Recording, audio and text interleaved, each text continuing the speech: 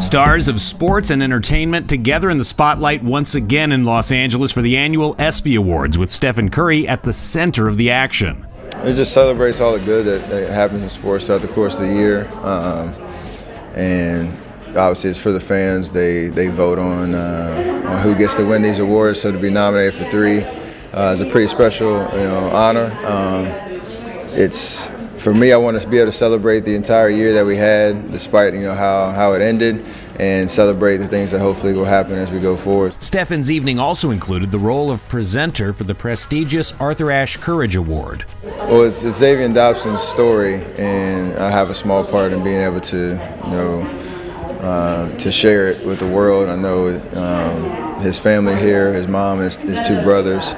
Um, and it would be a very emotional night for them to be able to, uh, again, tell the story of the heroics and the, the person that Zaevion was.